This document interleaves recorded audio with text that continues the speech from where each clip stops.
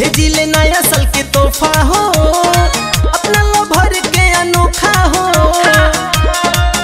रख देले है गुलाब पैक कर के